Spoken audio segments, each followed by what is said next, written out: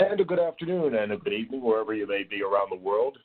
Thank you for joining the IO Tahoe online webinar. This is a live event.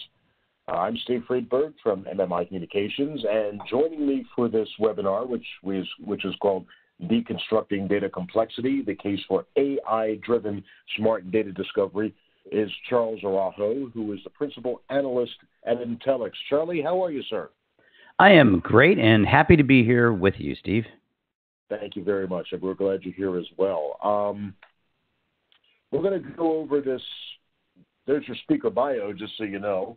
And for those who are not familiar with you, Charlie, you are an author. You have been quoted by just about every major publication out there, and you are the principal analyst with Intellyx. Can you tell me just briefly how what Intellyx does, how it may be different than some of the other analyst firms that we may be familiar with? Sure. So uh, we we like to call ourselves a uh, boutique analyst firm, which really just means we're small. but um, we focus on. Uh, I think mo- what makes us most different than other analyst firms is that we aren't focused on specific sectors of technology. We really look at the market holistically and are focused on what we call agile digital transformation, which we really define as anything disruptive targeted at the enterprise. And so as a result, we cover a huge swath of the technology landscape with uh, data, big data, analytics all being a part of that. So uh, we can I can certainly go into more of, as we through, go through the conversation, but uh, in a nutshell, that's it. Yeah, I was going to say I think this is definitely in your sweet spot. What we'll be talking about today. Uh, so that we know, quick matter of logistics. If you have any questions, there is a chat panel on the lower left-hand corner of your screen. Uh, if we have time to get to them, we would be delighted to do so. If you have any questions, feel free to chime in. Subsequent to this conversation, and it is going to be more of a conversation than a, a formal webinar, uh, you can pick up a copy of the recording at no charge from io-tahoe.com forward slash webinars. Don't forget to put the hyphen in there. Also, this slide presentation will be available for download at the same point. And of course, we'd welcome any comments that you may have on Twitter using hashtags like AIML data discovery and also linking to us at, at IO Tahoe, no dash. So, with that in mind, we've got the agenda going for today, and you can see the key points there. Five major areas that I think we'd like to cover in the brief time that we have together, ranging from the data discovery dilemma all the way down to making the case for AI powered data discovery. And so, if we get started on that point, we have the data discovery dilemma. And, Charlie, as I was going through these slides, I, I thought there was a bit of a disconnect here because the first point is data is out of control, but that's a great thing. What do you mean by that? well, so so first of all, I mean, I think that if you're in enterprise IT, that the first part of that statement, the data's out of control, is probably you know obvious and hard to refute. It, it's funny. I just posted this on my personal Facebook page. A uh, a picture of of the, these guys. It's this whole uh, like a, a, warehouse and this truck, and they have got these pallets and this whole team of people pushing this huge box, this huge crate up this ramp, and it was a five megabyte hard drive delivered by IBM to a customer back in like the 1950s. I mean, it, it, it is really only you know this a very recent thing that we've had a the amount of storage and, and but even more than that the the wealth of data that has come. I mean, even less than 20 years ago now, or about 20 years ago, I was involved in a data warehouse project in healthcare, and mean, if I think of what the amount of data we had then versus the amount of data that organizations are dealing with today, it is just astronomically different. And it's not just, I mean, I think that people are talking a lot about, you, you moved uh, slides there, Steve, but um, it's not just that, that people are talking about, uh, you know, things like IoT that is causing, um, you know, this explosion of data from the standpoint of all these devices out there kicking off all this data. That's certainly a huge chunk of it. You know, there's the smart cars and planes that are you know now all sensor driven, um, and everything has you know is kicking up all this data. Um, but it's also about just the fact that we are instrumenting everything. I mean, every at, at both the transaction level. Um, as well as from a uh, you know the, the, the automation of business processes across every dimension. I, I wrote an article recently about data driven management, and this idea that we're actually collecting data um, uh, about how almost every facet of every part of the business is being done in any organization.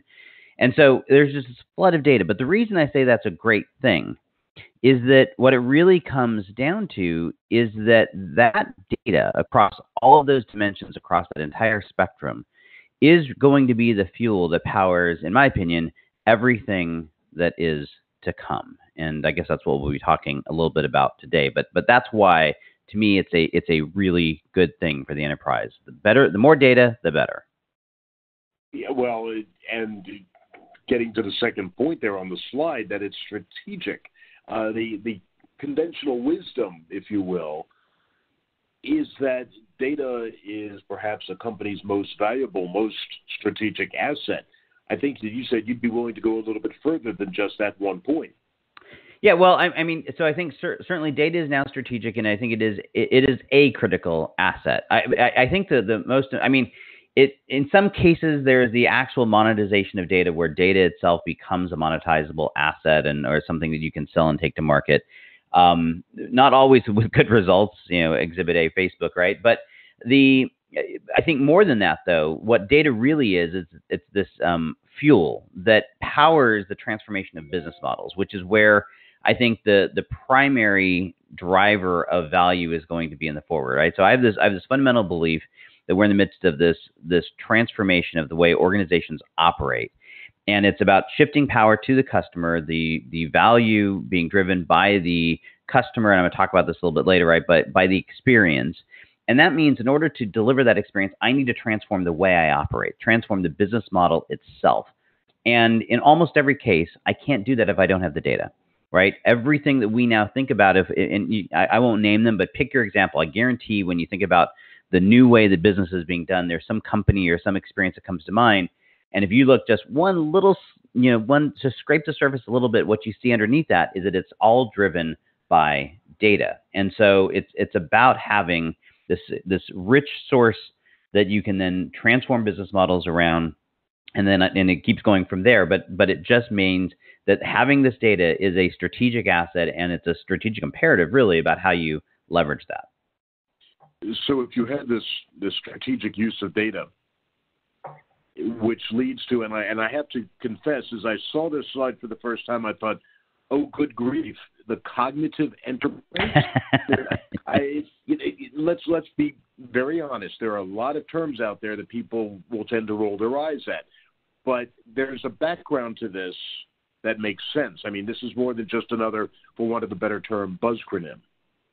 Yeah, well, uh, the, the good news, I, at least for now, maybe that I'm not hearing a whole lot of people use this term. People are talking about AI a lot, and we're going to talk about that in a second. But the I, I think that the here, here's the fundamental premise, I guess, of what this means is that as we move forward and we have more and more data, then organizations are going to continually automate anything and everything that they possibly can.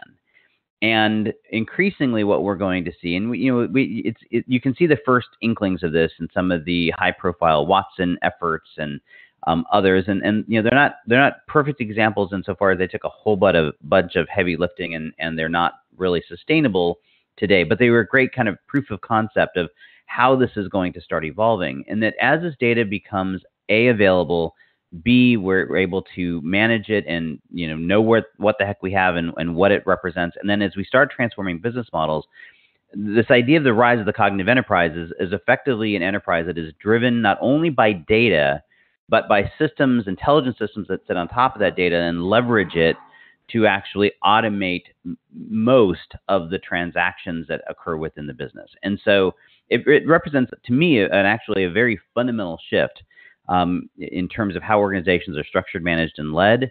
Um, you know, if we look at the industrial age, it was all based around this idea of the supply chain. And I think when we start looking into the digital era, or the, whatever you want to call this time that we're now entering, this idea of the cognitive enterprise is really just this idea that the, the new industrial company, right? That it's not driven by the supply chain, it's driven by experiential value and data. But isn't that going to make it a lot tougher as you move forward. More data, more data, more data, which goes back to the final point on this page that data complexity will increase exponentially. And things used to be a lot simpler, all right?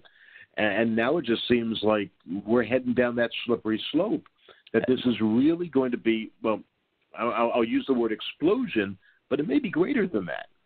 Yeah, no, this is this is um, it's it's going to be tough. It's it, it's it's tough already. It's going to get tougher. I, I was giving a speech in Saudi Arabia about a year ago, and I asked who here in the audience what you know we're CIOs. I know we probably had about 500 people in the audience, and you know maybe a third of them raised their hand, and and I said, and who here wants their job? And it was you know nobody raised their hand. It was dead silent. It was crickets, and it got a good laugh. Uh, and it was laughing, know, partially because nobody wants to say they want their boss's job, but but the reality is it's a horribly hard job today. I mean, as it's not just data complexity, right? Because that data is coming from this incredibly complex web of infrastructure, applications and infrastructure that sit below it that is both capturing, managing, and serving up this data. And the entire technology stack is getting just exponentially complex. And so it, it is necessary. It's a good thing. But, but yeah, if you're an IT person, it's going to make your job harder and it's going to continue to get harder as time goes on. Which then begs the question as we go to the next slide that, okay, let's all go on buzzword patrol here. Uh, with AI, the enterprise savior, I think that if you're in computers, if you're in IT, you can't go a, an hour, let alone a day, without hearing how AI and ML is going to solve this problem or that problem, right down to taking the cat out for a walk in the morning or something of the sort. Uh, how about that for a cheap analogy, right? So yeah. You're absolutely right. I mean, it is. I think that that when we look at this complexity, I mean, it, it's not like we're the first people to be talking about this. This is a well understood issue that that this complexity problem, and it's manifesting itself across the entire spectrum of of IT operations, of development, of you, you name it. Every part of IT, every part of the enterprise, really is struggling with this issue, and so uh, organizations are definitely on the hunt for ways to resolve it or ways to respond, and technology companies dutifully are showing up with with solutions. And in many cases, it is we we have this hype that all of this um, talk about the answer is AI, that the answer is machine learning, and as in most cases, the the kernel of it is true, right? There there is a whole lot of truth to that. In fact, I'd argue that you're not going to be able to solve this problem without a using technology, but very specifically without using some form of of machine learning or artificial intelligence. But that said, it you know I think all of the the hype around hey this is you know plug it in, turn it on, and all your problems go away is just that it's it's um it's hype. And so I think it's about um, and unfortunately I think that the downside to that is it causes um, enterprise leaders in particular to get you know really they, it's the boy who cried wolf kind of scenario right? Where they start tuning it out because they get you know beat over the head with all this hype. The early adopters went in and realized it was nowhere near reality. And so you kind of have this it it it, uh, it was a little bit of a of a you know what do you, what do you call it? You know struggling with with uh, just kind of having buyer's remorse there we go of of going down that first road. And so I think it's it's caused a little bit of a hangover, and and well, it's now about how do you resolve it. Yeah, I was going to say that, that this is not new in that respect. The the entire technology industry right. has been littered with uh, oh the next great thing, which proved ultimately not to be the next great thing. So let's put AI and machine learning in its place. What is the proper place? How should companies regard this today, and how should they be looking at it uh, for the future? Yeah, yeah, no, ab- absolutely. I mean, we, we are. We have, I think, the tech industry in particular has a you know horrible track record of you know uh, of going through these hype cycles of of you know hype, hype, hype, and then what? And and the in some cases they're they're nothing. They're just a term. In the case of AI and machine learning, I, I part of my frustration has been in talking with uh, some enterprise executives, especially early on. It was that they were being dismissive, and and I think that's a shame because this this is the real deal. But it is a matter of putting it in its place, so to speak. And and and here's where it comes down to. Let's I think specifically let's deal with the machine learning aspect of this. Is that where and, and maybe how it collides with the, this exploding data complexity issue is that the, the the thing that humans are great at are connecting dots that aren't necessarily obvious, right? And and if if you look at where computers struggle and things like um, uh, looking at pictures and analyzing that, that can be a really hard. You know, we're they're getting better at it, but that can be very difficult for where a, you know a baby can figure this out, right? But where computers excel and where humans are often have struggle is identifying these patterns in data that may not be obvious. And, and that is, is partially just a function of the fact that we as humans can't process that much data that fast, especially when it's this vol- voluminous type of, of streaming data or whatever it might be. And so machine learning is, is phenomenal at taking all of this massive amount of data and, and going through it and identifying the patterns that we can't otherwise identify. And then as it identifies those patterns, connecting the dots between you know what what are the correlations around that and so I was going to say both the data that you know as well as, as the data that you don't even know, the so-called dark data that's out there in your organization.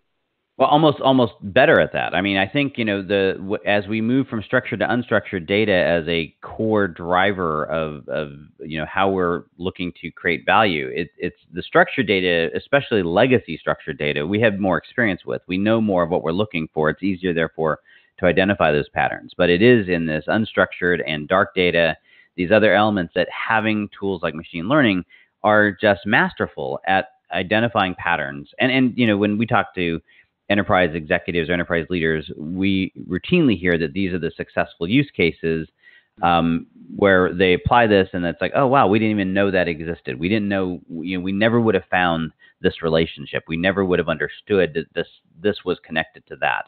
Um, and that's the stuff that machine learning is is great at, and it, and even more than that than that, it's that's where so much of the work has been done over the last decade or so. So we're seeing maturity in these technologies where they are reliable and you can count on them. I was going to say, I remember when I started in the business and you wanted to analyze the database, you couldn't analyze the database. You couldn't mine it. You had to take a core sample and hope that you found the patterns. Right. Now, obviously, the, cost has come down, and as the cost has come down, people said we can store more, and now they're storing everything because they can. Yeah. So no, how, that, that's that's a great great point, right? And and I think that um, you know part of that explosion today that we talked about at the beginning is exactly that. It's economics. Is that the cost of data, the the the relative um, ability to overcome some of both the compute, storage, data gravity issues, all of that is making it um, not only easier, but then you have that other side of the imperative of it. So these are colliding where we are now saving everything, and you're able to apply it in a way that we simply didn't. In fact, you know, I, I, I do not consider myself a machine learning AI expert, but I was talking to some folks um, that I would that are experts about it, and, and one of the things we were discussing is the fact that in many ways the whole AI machine learning space sort of stagnated because the, the theory was so far ahead of the, the technology in terms of our ability to have compute and storage enough to actually put the stuff into practice. And so, you know, I think we're going to see a, this explosion of, of AI in particular um, as as we're now moving past that stage, where now suddenly our compute and our storage capabilities are are matching, um, you know, where it's at. And so, I think we're going to see a continue continual rapid evolution of it. But uh, I think as we apply this to data, specifically, it's going to be critical because you have all this data out there, and it is both the fuel that powers machine learning and powers AI, but it's also a great target for it because you have to make sense of all the data before you can do it. So it, it, it's this kind of a cyclical, um, intertwined thing. And and and to take it one step further, which goes to the last point on this slide, when when we say AI, there's almost an automatic assumption we're talking big data these massive amounts of data. You're suggesting perhaps otherwise. Uh, well, certainly it applies to big data because big data is where you right. have the pattern recognition challenges, right? And in these massive data sets, it's really difficult to sort through all of that to find the patterns. But I think, A, there are just as many undiscovered patterns that might exist in the traditional data sets. And even more importantly, it's the correlations and relationships between the traditional data sets and these new big data unstructured data sets. Um, and and that because it's I, I, think one of the maybe the fallacies that when this whole big data thing in fact I wrote an article about this as well was that it was just go collect the data and all your problems were going to go away right? We are going to the whole um, you know data lake movement started with this idea it's like just capture it all throw it all in here and and we'll worry about it later sort of a thing. And and the problem is that that didn't actually lead to outcomes that were meaningful and so it's really about focusing on the action, the the results you're trying to achieve. What do you want to do with this data? And what you start finding when you do that is is that that data can come from anywhere. It could it could be these massive data sets that are coming from IoT devices or whatever, and it you know, but more likely it's a combination of this kind of historical legacy data sets you had, these new data you're capturing, partners, you know, data that's coming from partnerships or other relationships you have, and it's really about the interconnection, the intersection of all of that that the greatest value um, is, is really to be found. And so it's about applying this everywhere. Okay, so at this point, I'm just going to remind folks that you are listening to an IO Tahoe online webinar with uh, Charles Araujo, who is the principal analyst at Intellyx. And as we move to the next slide here, I had to laugh again when I saw this because, again, back in my days, uh, when we started out with big data or whatever we called it then, data mining, uh, the whole concept was that you needed an answer to a question and you would take that question and you would send it up the mountain to the graybeards at the top of the mountain. And they would hem and haw and they would get you an answer back just in time for you not to be able to do a darn thing with the answer because right. things have changed, right? Obviously, as things move faster, this is where, as you call it, the self service imperative comes into play. And companies are moving faster than ever before because they have to move faster than ever before. Yeah, you know, it, it's absolutely right. I mean, the um, I, like I mentioned this data warehouse project I worked on back 20 years ago in healthcare, and and it's exactly what it was. Uh, that it was this massive process if if you wanted information, and and we had an entire team of people that his whole job was to a you know build and maintain the data warehouse, but then also to respond to these requests. And it's um, I, I think that there's been this recognition in the last I'll say a couple of years that that type of an approach was just not going to be sustainable. The, the problem is, is is that leap is the easy one, meaning the, the leap to recognize that we need to get the access to the data as close as possible to the people who need it. That that's relatively easy. It makes sense, right? I mean, I think there's some people that maybe still have a kind of a, a, fear of of exposing that data, and, and there there are there are governance issues and there's security issues and there's lots of challenges with that. But uh, frankly, I think that the biggest holdup has been just the complexity of doing that, of of making that available in some way. Um, but to your point, the I, I don't think that organizations have a choice any longer.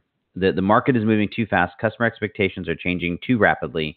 That organizations have to be able to pivot, adapt, be agile. And the only way that's going to happen, if we go back to the premise from a couple slides back at the beginning of the conversation, is data is the driver of value, or the enabler at least of value, then we have to get access to that data to be able to know how to pivot, to know where to how we're going to transform the experience or how we're going to tweak our business model.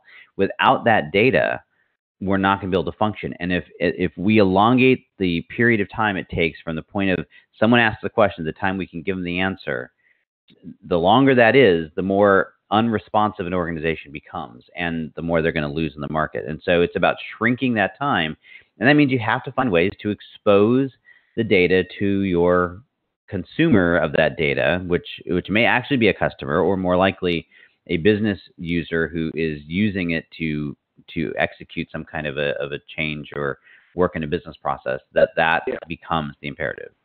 You see, I'm, I'm going to challenge you on one point because it, there was a theory about the principle of least access, and companies for the longest time said, "Oh, you don't need that information, frontline worker. Therefore, we're not going to give it to you."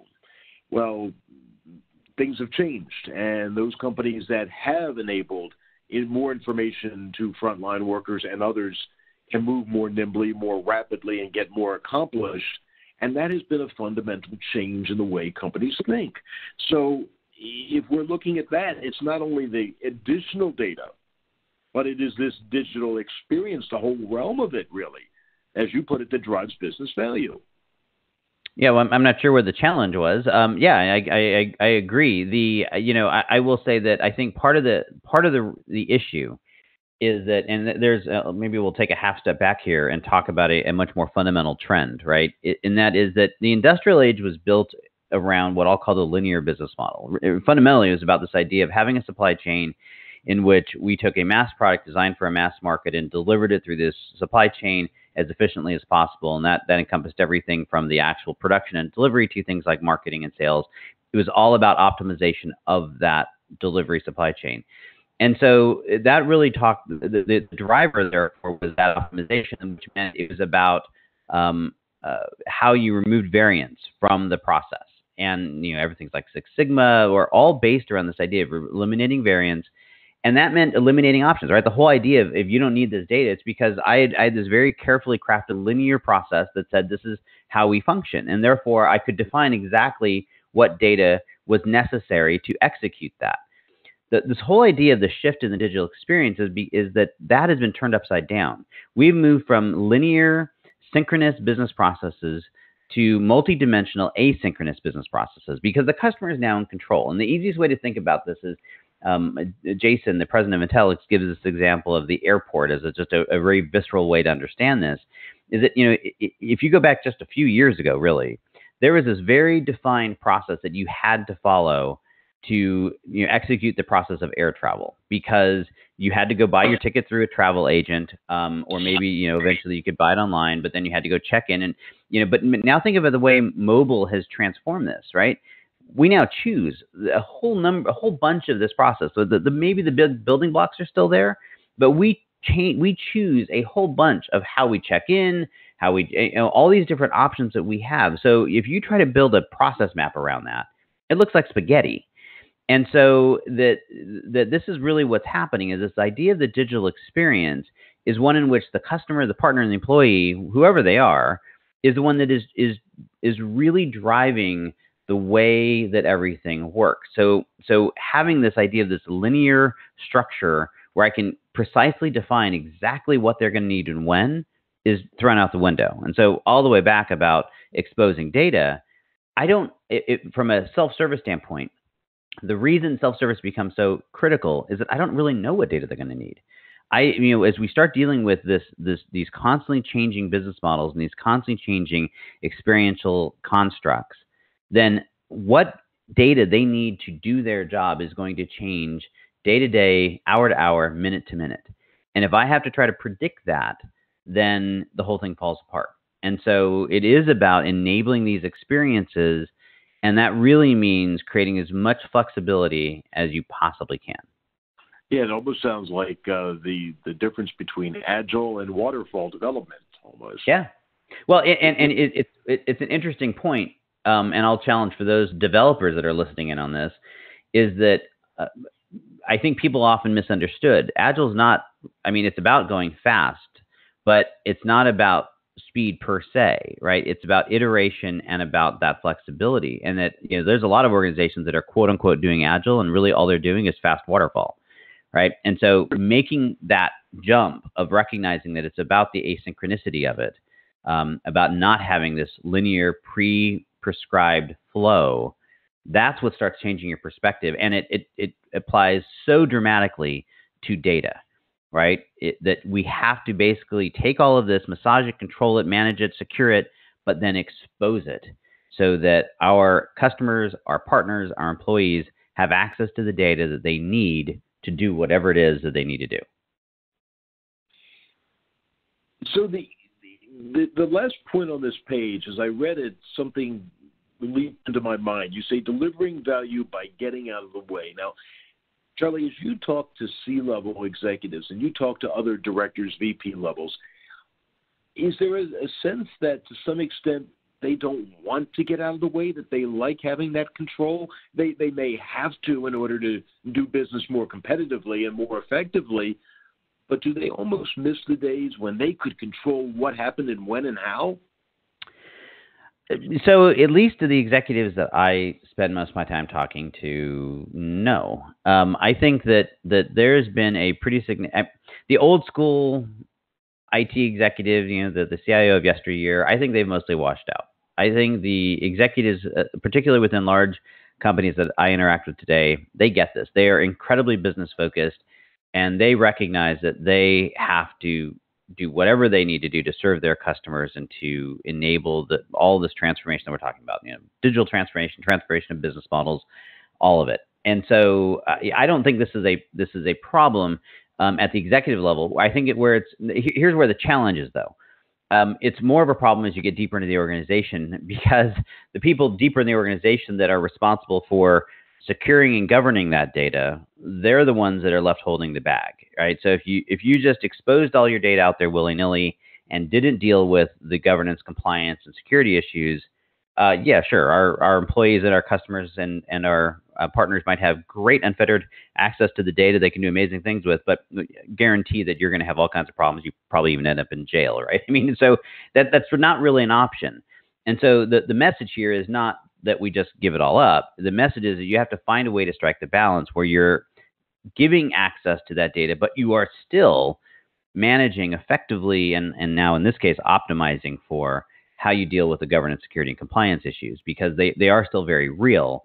And so you know the message here is is that yes, you need to get out of the way insofar as the, the over constriction of access, but you still have to do it in a way that you're dealing with these very, very real issues. Um, and, and you know, let's face it, there's there's the the legal aspects of it, the regulatory and compliance type stuff, but there's also just the PR aspect of it. Um, you know, the, the where you're dealing with how the public is reacting to the use of this data. So it's a very touchy subject, and and requires a you know a, a very um, I think a, a nuanced approach to how it's done. But but the big message here is we just IT has to get out of the business of saying no and instead recognize that this has to happen. And so now it's a question of how do we make it happen and still deal with these issues. So moving on, we we've already covered the first point that complexity is no longer bad. I mean, you said it's going to increase exponentially. Oh, when you say it drives differentiation, does that imply that there are companies out there that are dragging their feet, being Luddites to some extent, or just being just taking too much of a time to say, I'll wait to see how others do it before I pull the trigger? Well, well, let me step back a little bit. So, so you know, first of all, I, you know, I, I want to talk here either to the executives or we're going to talk a little bit to, you know, if you're talking to an executive. But from an executive perspective, I think that um, I, I don't know that every executive right now is is on board with this idea that complexity isn't bad. Meaning that most of us, and I'll put myself, I, I ran technical operations for uh, this billion dollar healthcare firm 27 years ago and have spent most of my career on the buy side advising enterprise executives. So I mostly see myself kind of in that light. And most of us came to age, so to speak, professionally, when we went through these cycles. And the cycle was that there would be a period of experimentation because we had business problems we needed to solve and we'd bring out a bunch of technologies and whatever. And then because it was all about optimization, it became too expensive to manage that way. So we would rationalize and standardize. So you would go look at all the different stuff you have and you would you would say I need to remove complexity so that I can reduce my management overhead. And we would do that. We would pick a couple platforms, we would rationalize out, standardize everything. That would be this big old project. And then a new business need would happen and the process would start all over again. And that has been the cycle.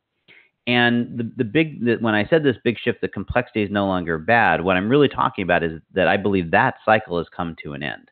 That this idea that we go through this period and then we rationalize and standardize, I don't think it's happening anymore. And the reason is because the needs of, of any good sized organization are now so complex that the only way we can drive differentiation, the only way we can create business value using our technology is by leveraging this this vast swath of this of the technology landscape.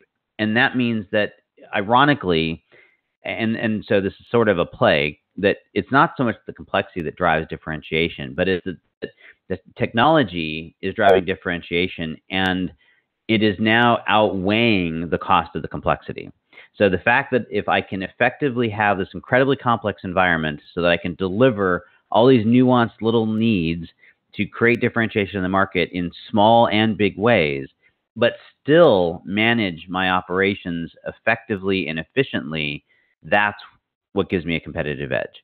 because those organizations that can't because because it does you know as much as the customer today and we all are the are all these consumers while we expect all of this we also still expect our stuff to work you know and so if if you can't deliver if that complexity is causing you to break down and have failures um, then then you're going to pay a, a, a heavy heavy price for that and so if if the choice comes down to well in order to maintain stable operations that i have to remove complexity then I lose. And so th- that's what this really means. That complexity is driving differentiation or complexity is driving value because it's my ability to manage and sustain this highly complex environment um, that is going to drive that. And, and, and, you know, I'm actually, we're talking specifically today about data complexity, but it's really every element of this. I think the specific thing about data complexity, though, is that um, data complexity is one of those things that can grow un, you know unfettered because there is there is so much data and there's so many different systems um, and you know so little standardization um, around you know how how we structure data schemas and all of this that that the data complexity can be one of the most un, unwieldy issues that an organization has to deal with. So uh, you know it's those that can get this right are the ones that are able to drive that value in the market. And today, how many of them are getting it right? I mean, of the of any ten companies you speak to, how many get it? How many don't? Or how many are throwing their hands up and saying, "Help me on this"? Oh wow, that's a tough question. I, you know, I would say, I would say eight out of ten get it from the standpoint that they understand what uh, what I just said, um, and I would say that they are there is an openness to looking for ways to solve the problem. I, I think that the the challenge really has been that if you look at the the technology stack of, of the modern enterprise, it, it has just gone through this massive transformation in the last decade in terms of like you know all this data being captured and all this new stuff. But but the you know the the legacy, the underpinnings uh, of that stack are in many cases cases still decades old and so it's it's I think in many in many ways that this data explosion and and this the the transformation of business models and all of this that we've been talking about has just overwhelmed most IT organizations' ability to respond at least that quickly. So I, I would say most are getting it, but it's still a it's still a long um, a, a long road that they have to cover to kind of get in front of this, which is which is why companies like IO Tahoe have a, have a very significant role to play because I think smart organizations are now looking for ways, you know, they, they recognize the issue.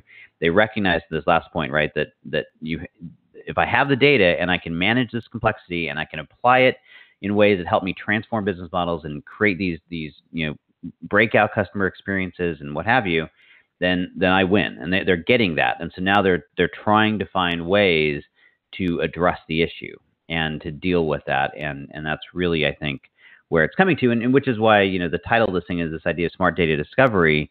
Um, and, and, I guess we're, we're you know talk about in a second, but it, it's it's really about how do you create a mechanism to actually do all that. Um, and, and, so that's you know I think they're getting it, and now it's about you know how do you put the pieces together. At, at a higher level, though, Charlie, when you say eight of every ten or so organizations that you talk to are get it or are working on it, does that imply then that those companies that tried to adopt this technology, whatever this technology may be, be an AI, ML, or something else, for a strategic advantage, it's really no longer an advantage just keeping pace with everybody else? No, no, I don't. Well, I, I mean, in terms of it's not. I don't think it's the data management capability or the the ability to manage complexity itself per se, right? It's um, so I, maybe the best way of saying this is that I am. Um, I was interviewing um, the global CIO of Deloitte a couple of years ago for a, a TV show I was doing, and uh, I was kind of challenging him on um, systems that I felt were, you know, not sources of competitive advantage. And I said, you know, isn't that really the, the driver? And he says, well, I agree that, you know, our focus as an IT organization should be on those things that drive competitive advantage. He said, but there's also this issue of, of ensuring that we are focusing on those things that if we if we fail at them are going to provide competitive disadvantage. And in his case, he said, you know, their HR system was an example. Nobody did business with them because they had the best HR system, but their HR system enabled them to attract the best talent and to sustain and, and, and retain that talent, or at least helped with that. And that avoided a competitive disadvantage. And so I think even to the extent that as organizations begin to recognize this issue and you know if everybody went out and and you know bought IO Tahoe and they had all of this and they had a whole bevy of tools to help them resolve this that alone you know it's not going to undermine that advantage right it, it helps them com- from suffering from a competitive disadvantage first and foremost but secondly it's then what do you do with that right it's about exposing that data and then how do i apply it and then still then how you how you apply it is what drives the differentiation and drives the value. But you can't apply it if you don't know what it is. If you don't, if you can't manage your data, if you can't find it, identify it, understand it, you can't possibly leverage it. So that's that's really where that comes from. And, and thank you again for mentioning IO Tahoe as we move forward. Um, the, when we move to this slide here, we see making the case for AI powered data discovery. It is not all just sweetness and light, obviously. There are challenges to be faced. There are uh, problems as well as the promise. Can you go into that a bit? Yeah, so I mean, look, I, I think you know what we've been talking about is that as you as you stare down this complexity, you you stare down the importance, you you recognize that self service is going to be a critical aspect of this. That um, that you have to be able to manage across this complexity. You, you then have to start asking yourself, well, then how do I do all of that? And and you know, first of all, there's no single answer to that. You, you're going to need to employ a whole bunch of different strategies, platforms, tools, approaches, a whole bunch of things to do it.